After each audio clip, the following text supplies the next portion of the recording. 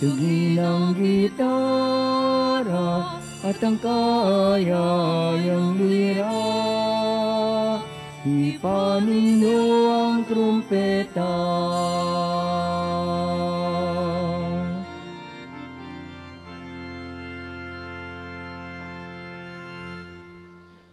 Magandang umaga po sa inyong lahat. Magandang umaga po, Father. Sa kapistahan po ng ah, ah, ni San Lorenzo, Diakono at Martir ng simbahan at ah, sacerdotal anniversary ni Santo Padre Pio, tayo ay hihiling ng kanilang pamamagitan upang una, ipagdasal ang lahat ng mga nagdiriwang ng kanilang kaarawan ngayong umagang ito. Lalo na po yung ah, kasama natin dito physically sa ating pagdiriwang ng banal na misa. Ganon din po ating ipinagdadasal, special prayer intention for His Eminence Gaudencio Cardinal B. Rosales, Archbishop Emeritus of Manila and Lipa, na ngayon po ay nagdiriwang ng ah, kanyang kaarawan. Special po nating ini-offer ang banal na misa ah, para sa kanya. Kasama po ng ating pagdarasal sa lahat ng mga may sakit, sa lahat ng mga nagdidibusyon kay Santo Padre Pio. Ganon din po ating ipinagpapasalamat at wini-welcome at ipinagdadasal ang Catholic Women's League, Vicariate of the Holy Spirit from Archdiocese of San Fernando, Pampanga. Palakpakan po natin sila. At kayong lahat na nanggaling pa sa iba't ibang lugar, particularly sa family ni Tito Jazz at ni Tita Alice na naririto ngayon, ah, malapit pong kaibigan namin ni Father Chito Andal, na walang Father Chito Andal, na nakikisa sa pagdiriwang, at yung mga sumusubaybay sa atin sa pamamagitan ng live streaming, kayong lahat amin pong ipinagdarasal. Simulan po natin ang pagdiriwang sa ngalan ng Ama at ng Anak at ng Espiritu Santo. Amen. Sumainyo ang Panginoon. At sumayin niyo rin. Mga kapatid, atin muna pong pagsisihan ang ating mga nagawang pagkukulang. Humingi tayo ng awa at patawad sa Diyos sa ating mga naging kasalanan. Inaamin ko Sa makapangyarihang Diyos at, At sa inyo mga kapatid, na lubha akong nagkasala sa isip, sa salita at sa gawa, at sa aking pagkukulang. Kaya isinasamo ko sa mahal na Birheng Maria, sa lahat ng mga anghel at mga banal, at sa inyo mga kapatid, na ako'y ipanalangin sa Panginoong ating Diyos. Kaawaan tayo ng makapangyarihang Diyos. Patawarin tayo sa ating mga kasalanan at patnubayan tayo sa buhay na walang hanggan. Amen.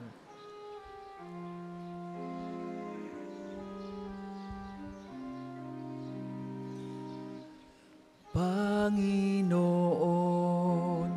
kaawaan mo kami.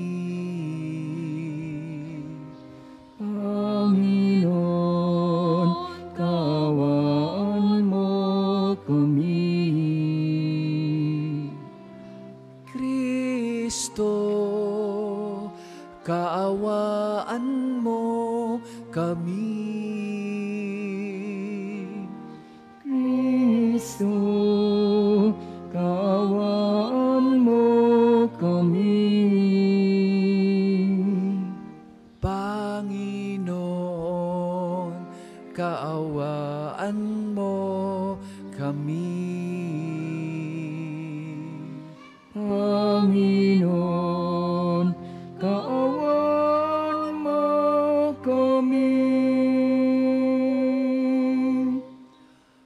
Manalangin tayo.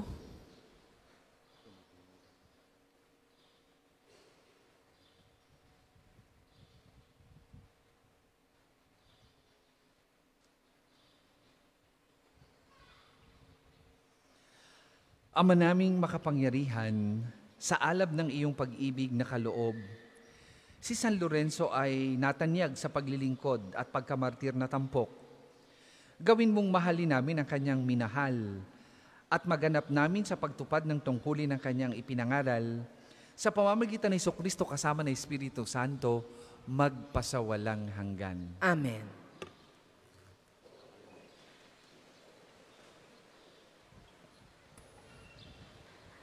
Pagbasa mula sa ikalawang sulat ni Apostol San Pablo sa mga taga-Korinto. Mga kapatid, ang naghahasik ng kaunti ay mag-aani ng kakaunti, at ang naghahasik naman ng marami ay mag-aani rin ng marami. Ang bawat isa'y dapat magbigay ayon sa sariling pasya, maluwag sa loob at di napipilitan lamang, sapagkat ang ibig ng Diyos ay kusang pagkakaloob. Magagawa ng Diyos na pasaganain kayo sa lahat ng bagay, higit pa sa inyong pangangailangan, upang may magamit kayo sa pagkakawanggawa. Gaya nga ng sabi ng kasulatan, Siya'y namudmod sa mga dukha, walang hanggan ang kanyang kabutihan. Ang Diyos na nagbigay ng binhing ihahasik at tinapay na makakain, ang siya ring magbibigay sa anyo ng binhi at magpapalago nito upang mamunga ng sagana ang inyong kabutihang loob. Ang salita ng Diyos. Salamat sa Diyos. Salmong tugunan, ang taong tunay na matuwid ay mahabagit mabait. Ang taong tunay na matuwid ay mahabagit mabait. Mapalad ang tao na may takot sa Diyos. Siyang sumusunod ng buong alindog. Ang kanyang lipi magiging dakila, pati ang mga angkan ay pinagpala. Ang taong tunay na matuwid ay mahabagit mabait. Ang mapagpautang nagiging mapalad, kung, ang, kung sa hanap buhay siya'y laging tapat. Hindi mabibigo ang taong matuwid, di malilimutan kahit isang saglit. Ang taong tunay na matuwid ay mahabagit mabait. Anumang balitay, hindi siya takot. Matatag ang puso't may tiwala sa Diyos. Wala siyang takot, hindi nangangamba. Alam na babagsak ang kaaway niya. Ang taong tunay na matuwid ay mahabagit mabait. Mabait na lubha, lalo sa mahirap. Ang pagiging matuwid ay di nagwawakas. Buong karangalan siyang itataas. Ang taong tunay na matuwid ay mahabagit mabait. Magsitayo po ang lahat.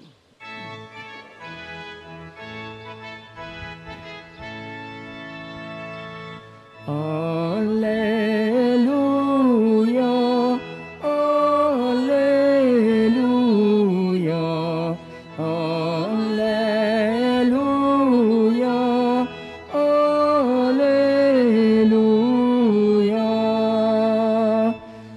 Kapag si Kristo'y sinundan, liwanag niya'y makakamtan para mabuhay kailanman.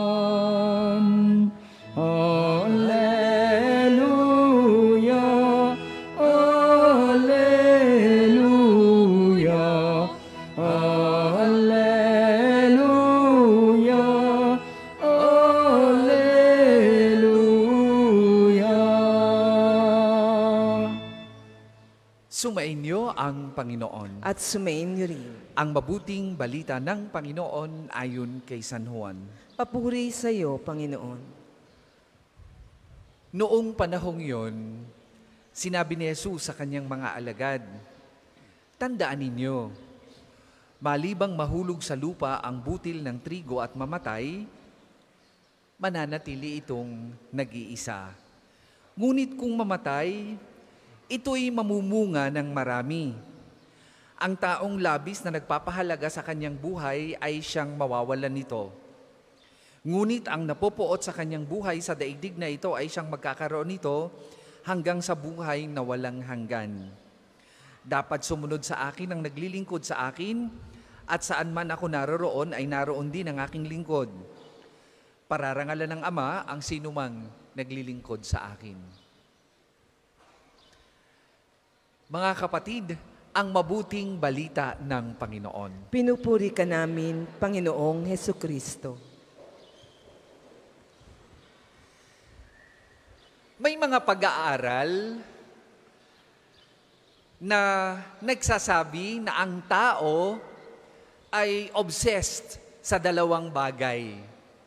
Number one is longevity. Anong ibig sabihin nito? Yung hanggat maaari, ayaw nating tatanda. Hanggat maaari, gusto nating lagi tayong bata. Kaya tingnan ninyo, patok na patok sa may mga kaya ang cosmetic surgery. Natango si sister. Kasi anong sinasabi nun at the back of our mind? At the back of our mind, sinasabi nun, na palagi nating gustong maging bata. Ang daming umiinom ng mga rejuvenating or supplement vitamins para manatiling malakas ang ating mga cells. Kasi ayaw natin natatanda. Kaya minsan ang iba na offend wag mo naman akong tawaging lola, wag mo naman akong tawaging lolo, pinatatanda mo ako. And that is an obsession. Dahil ang totoo, i-delay nyo man sa inyong isip ang edad, sinasabi ng iba na, oh, age is only mental. Pero talagang kahit anong gawin, banatin man yan ng banatin ang balat natin, pag edad talaga natin, by nature, talagang yan ay kukulubot. At hindi tayo mananatili forever dito sa mundong ito. That's natural. Natural law yan. Kung meron sanang ganyan, ay di yung mayayaman ay yan ang unang ginawa. And we cannot defy that. Ang ikalawa is ito. Ang tao daw po is so obsessed with success.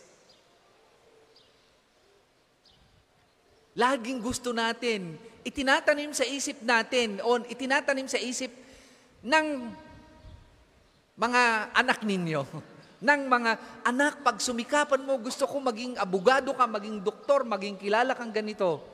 Because we are so obsessed with success. And we, de- of course, our definition of success ay depende o iba-iba.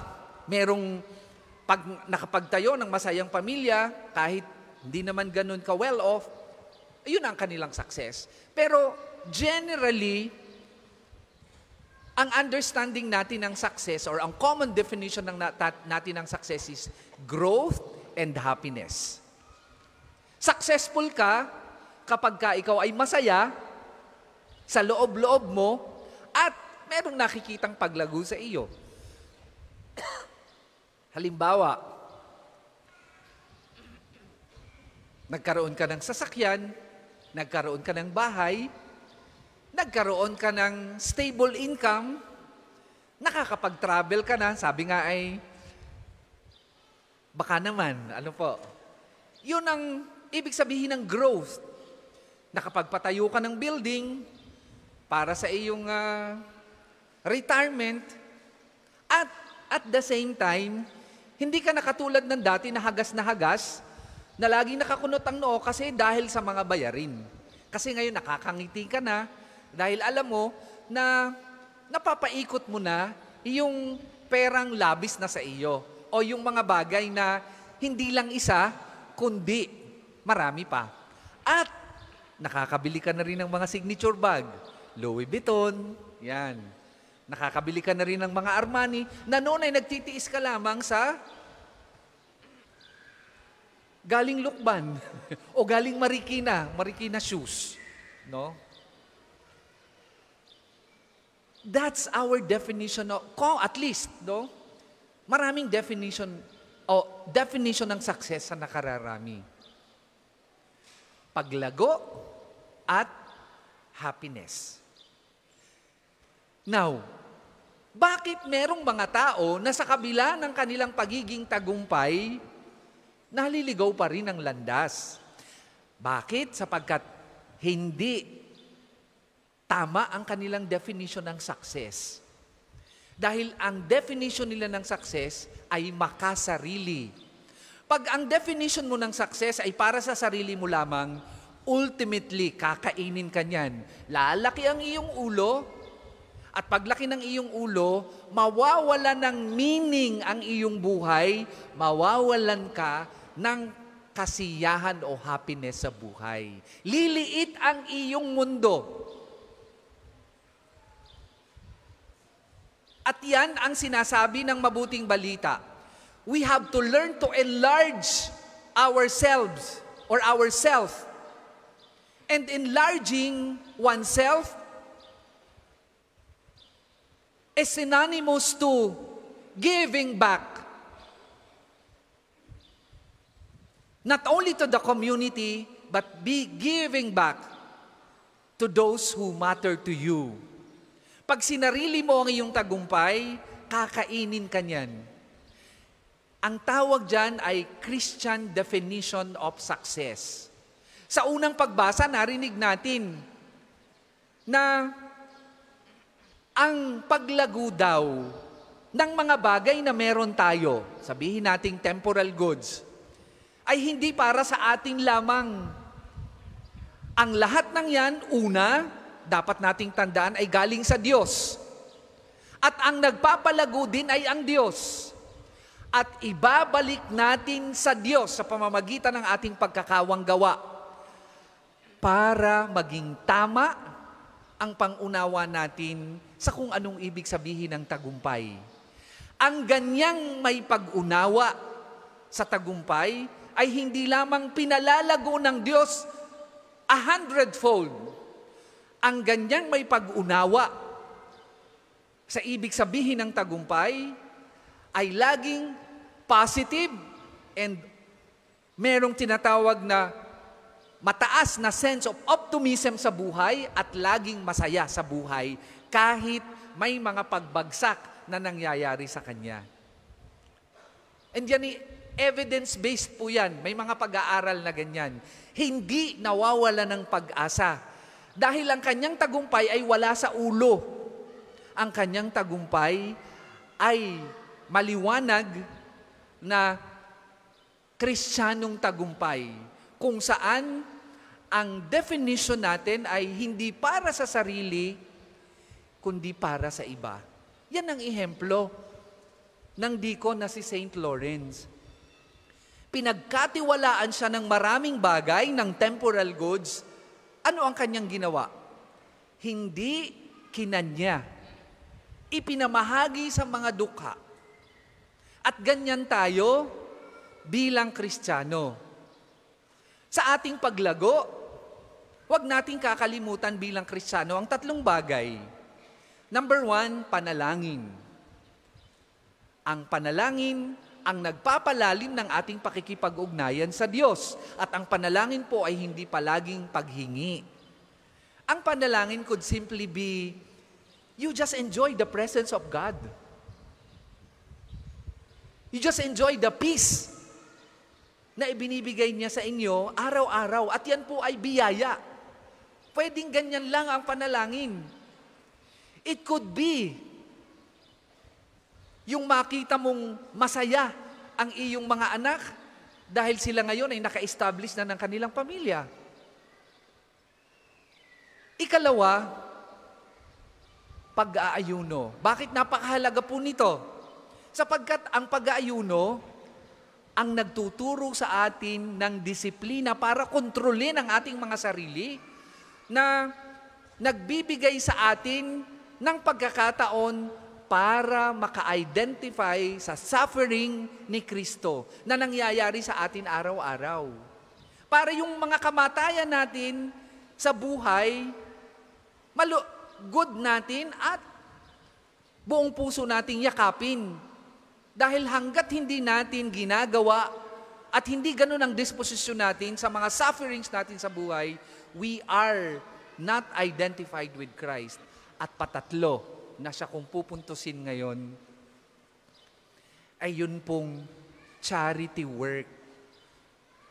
Yung tagumpay at paglago natin ay kaakibat yung obligasyon natin na ipamahagi din hindi lamang sa mga mahal natin sa buhay, kundi sa mga taong nangangailangan. And that is the real definition of Christian success. Tatandaan natin na walang sino man ang nabubuhay para sa sarili lamang.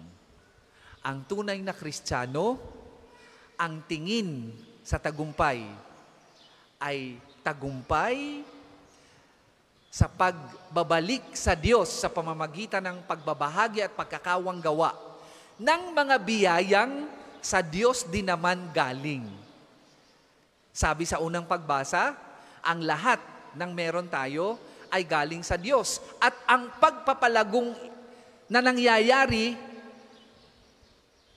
sa mga biyayang ibinigay sa atin ay hindi lamang dahil sa ating pagsusumikap, kundi dahil din sa biyaya ng Diyos na siyang nagpala sa atin dahil tama at makakristyano ang understanding natin ng tagumpay. Pagka ganyan ang pag-unawa natin, hindi to tayo malulunod sa ating tagumpay. Tagumpay na hindi lamang lumalago sa pagkatao, kundi lumalago sa pagiging kristyano.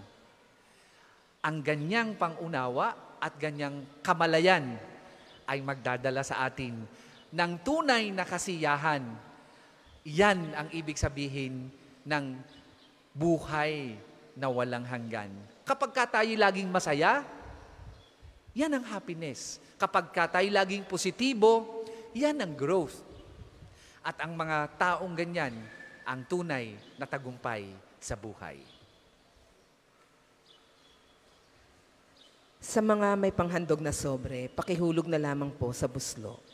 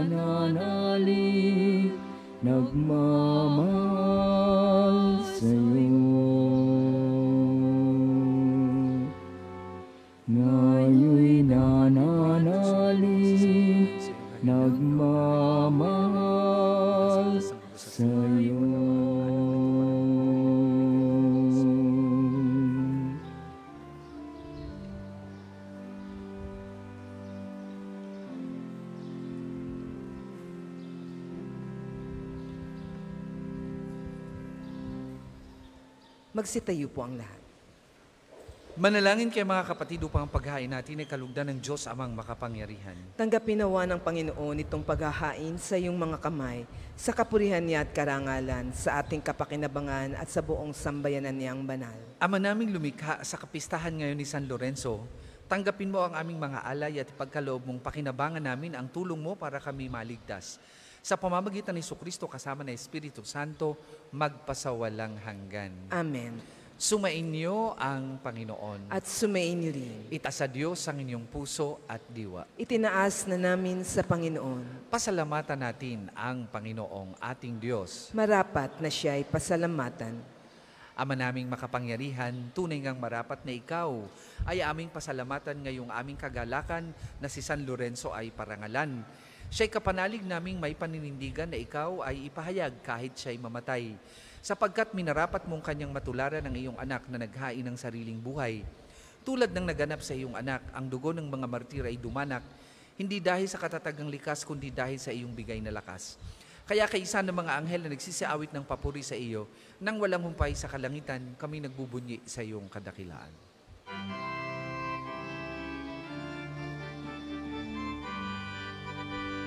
Banal ka pong may kapal, banal ang iyong pangalan. banal ang iyong kaharian. Langit lupa'y nagpupugay sa iyong kadakilan. Dinarakilan ng lahat ang naparito mong anak na siyang nagmulat sa bulag sa pilayay nagpalakad at nakiramay sa lahat. Kung hindi makaluluhod ay manatiling nakatayo ng may paggalang. Ama naming banal, ikaw ang bukal ng tanang kabanalan, kaya't sa magitan ng iyong Espiritu gawin mong banal ang kaloob na ito upang para sa amin maging katawan at dugo ng aming Panginoong Heso Kristo. Bago niya pinagtiisang kusang loob na maging handog, hinawakan niyang tinapay. Pinaghati-hati niya yon, iniabot sa kanyang mga alagad at sinabi, Tanggapin ninyong lahat ito at kanin. Ito ang aking katawan na ihahandog para sa inyo.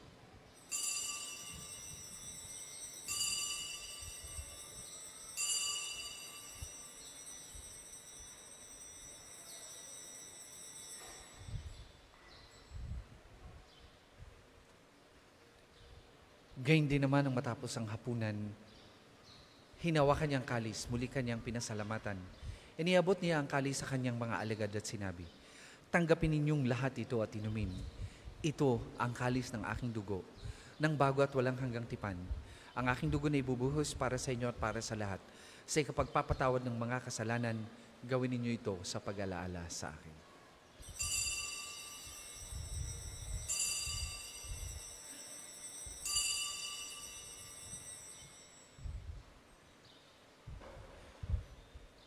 Ipagbunyi natin ang misteryo ng pananampalataya. Sa krus mo at pagkabuhay, kami natubos mong tunay. Kung Jesus naming mahal, iligtas mo kaming tanan. Ngayon at magpakailanman, ngayon at magpakailanman. Ama, ginagawa namin yan ng pag-alaala sa pagkamatay at muling pagkabuhay ng iyong anak. Kaya tiniaalay namin sa iyong tinapay na nagbibigay buhay at ang kalis sa nagkakaloob ng kaligtasan. Kami nagpapasalamat dahil kami iyong minarapat na tumayo sa harap mo para maglingkod sa iyo. Sinasamo namin kami magsasalo-salo sa katawan at dugo ni Kristo ay mabuklod sa pagkakaisa sa pamamagitan ng Espiritu Santo. Amalingapin mo yung simbahang laganap sa buong daigdig. Puspusin mo kami sa pag-ibig kay San Francisco na aming Papa at ni Gilbert na aming Obispo at ng Tanang Kaparian. Alalahanin mo rin ang mga kapatid naming nahimlay nang may pag-asang sila'y muling mabubuhay gayon din ang lahat ng mga pumanaw. Kaawan mo sila at patuloyin sa iyong kaliwanagan Kaawano at pagindapatin kaming lahat na makasalo sa iyong buhay na walang wakas. Kaisa ng mahal na Birheng Maria na ina ng Diyos. Kaisa ni San Jose na kanyang kalinis-linisang esposo. Kaisa ng mga apostol at ng lahat ng mga banal na namuhay dito sa daigdig ng kadugod-lugod sa iyo. May pagdiwang nawa namin ng pagpupuri sa ikararangal mo sa pamagitan ng iyong anak na aming Panginoong Heso Kristo. Sa pamamagitan ni Kristo kasama na sa Kanya, ang lahat ng parangal at papuri ay sa iyo. Diyos amang makapangyarihan, kasama ng Espiritu Santo, magpasawalang hanggan. Amen, Amen, Amen,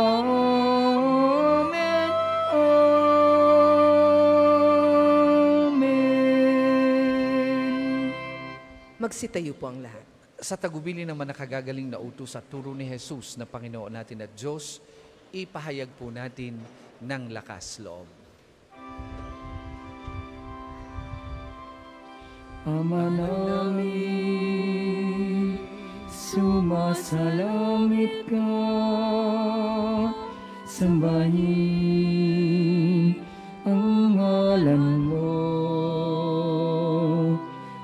pa sa amin ang kaharian mo. Sundin ang loob mo dito sa lupa para ng salangit. Bigyan mo kami ngayon ng aming kaharian sa araw-araw. At patawarin mo kami sa aming mga sala. Para ng pagpapatawad namin. Sa nakakasala sa amin. At huwag mo kaming ipahintulot sa tukso at iadya mo kami sa lahat ng masama. Hinihiling namin kami, Adya, sa lahat ng masama pagkalooban ng kapayapaan araw-araw, iligtas sa kasalanan at ilayo sa lahat ng kapahamakan. Samantalang aming pinananabikan ng dakilang araw ng pagpapahayag ng tagapagligtas naming si Heso Kristo. Sapagkat iyo ang kaharian at ang kapangyarihan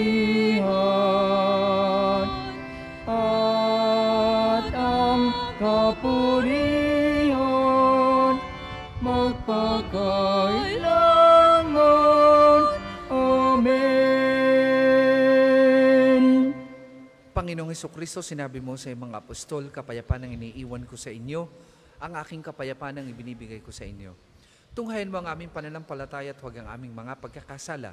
Pagkalooban mo kami ng kapayapaan at pagkakaisa ayon sa iyong kalooban, kasama ng Espiritu Santo, magpasawalang hanggan. Amen. Ang kapayapaan ng Panginoon ay lagi pong sumainyong lahat. At sumain niyo rin. Magbigayan po kayo at maghangad ng kapayapaan sa isa't isa.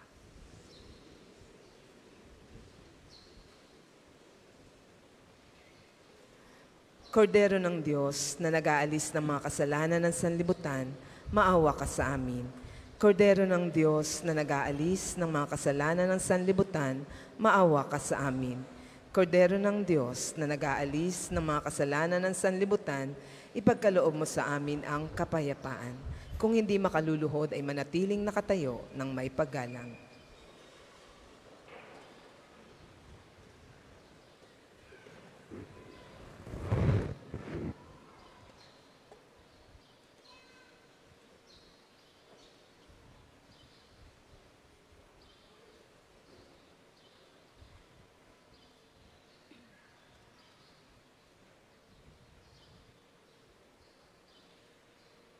Mga kapatid, ito ang kordero ng Diyos. Ito ang nag-aalis ng kasalanan ng sanlibutan. Mapalad ang mga inaanyayahan sa kanyang banal na piging. Panginoon, hindi ako karapat-dapat na magpatuloy sa iyo, ngunit sa isang salita mo lamang ay gagaling na ako.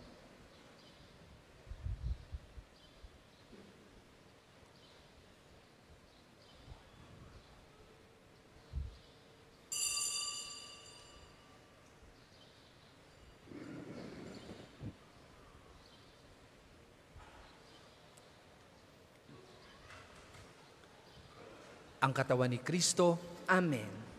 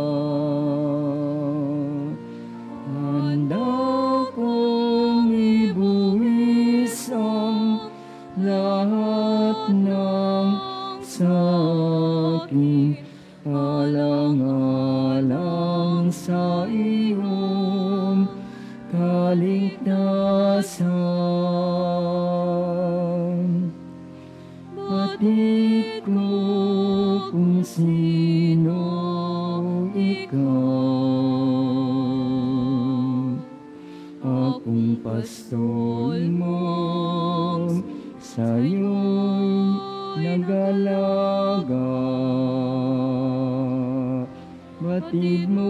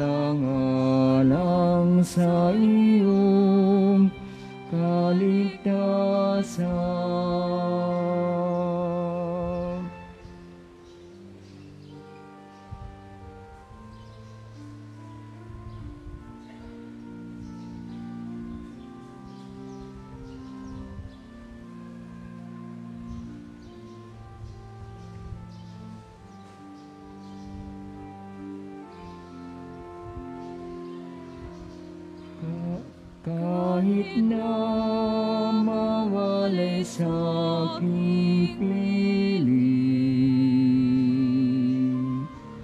ikaw ay aking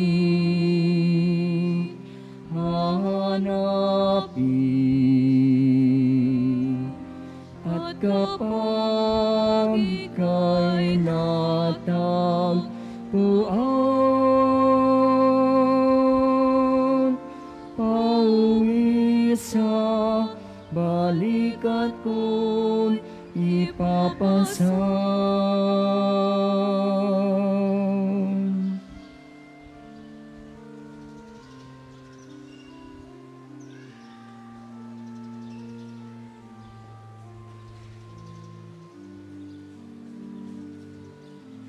Ang isasagawa pong second collection ay ginagamit sa patuloy na pagpapaunlad ng parokya at pambansang dambana ni Santo Padre Pio. Salamat po sa inyong handog.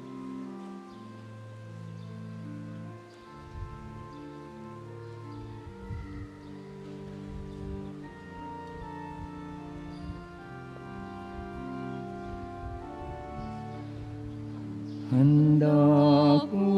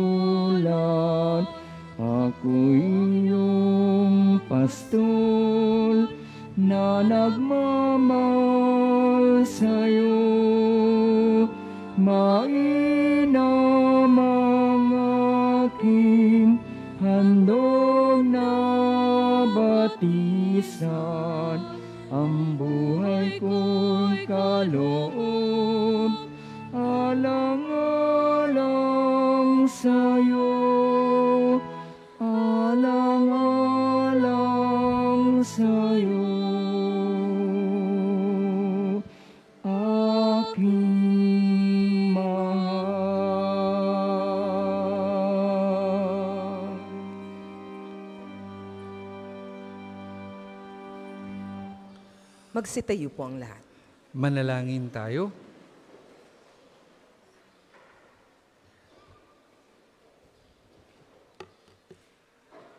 Ama naming mapagmahal, hinihiling naming mga nakinabang sa kapistahan ni San Lorenzo na makapagdulot nawa kami ng paglilingkod na inaasahan mo at makadama ng karagdagang kagalingang buhat sa iyo. Sa pamamagitan ng Kristo kasama ng Espiritu Santo, magpasawalang hanggan. Amen. Dasalin po natin ang panalangin ng pagtitiwala kay Santo Padre Pio. Padre Pio, taga Pietrelcina, mongheng banal, pintakasing santo ng milenyong kasalukuyan, gabay namin sa pagtahak sa landasing makalangit, takbuhan sa pangangailangan, huwara ng pagtitiis. Sa iyo namin inilalapit aming mga kagipitan, sa iyo po ibinibilin kalusugan at kabuhayan.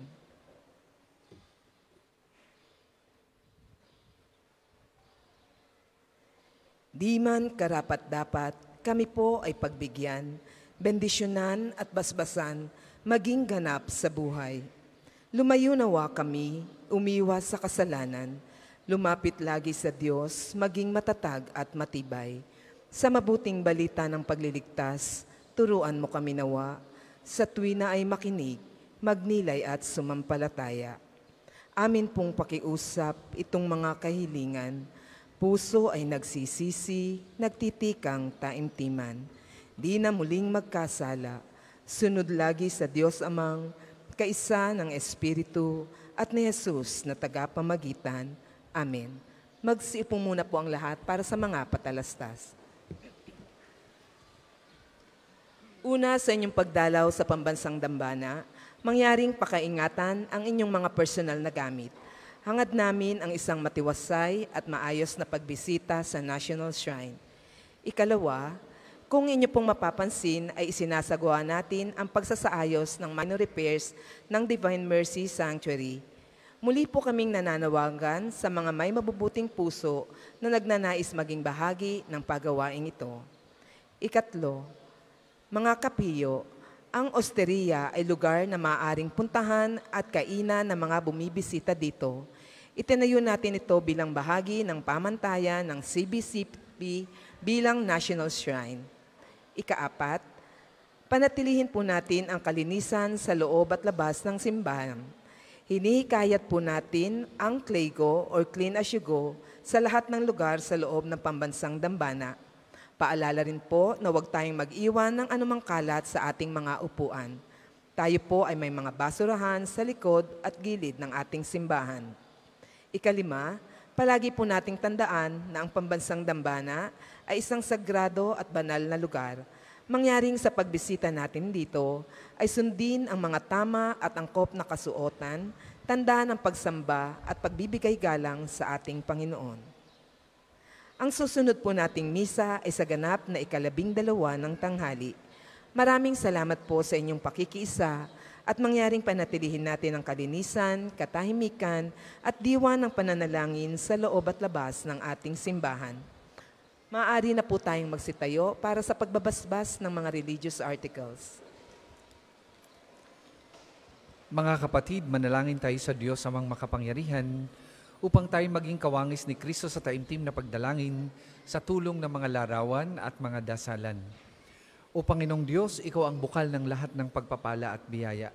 Ibuhos mo ang bendisyon sa mga gamit na ito sa pananalangin, mga rosaryo, imahin, dasalan na nagpapalala na iyong kabutihan, kabanalan at pagmamahal sa amin.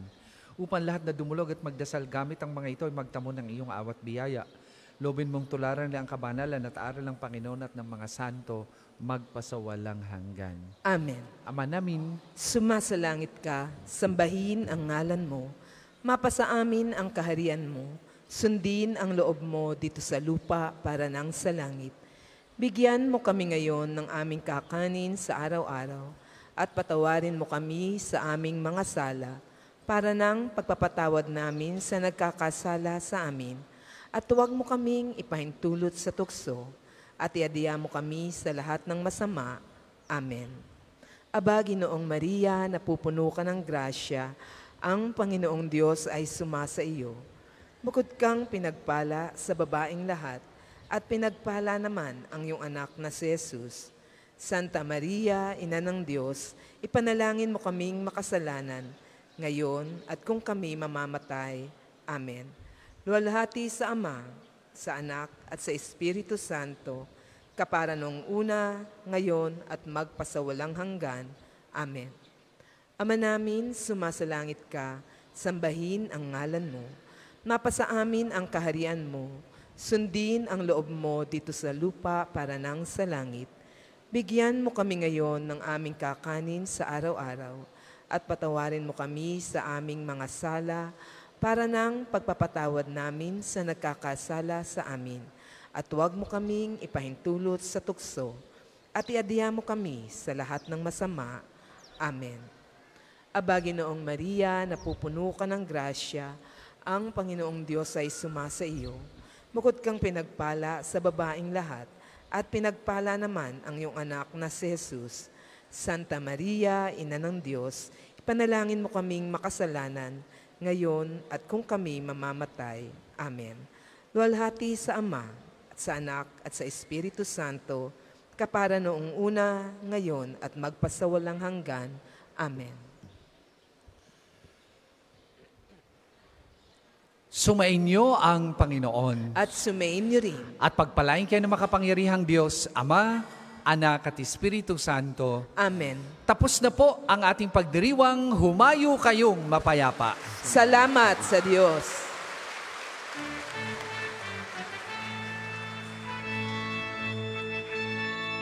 Umawit kang masaya, umawit kang masaya sa Panginoon.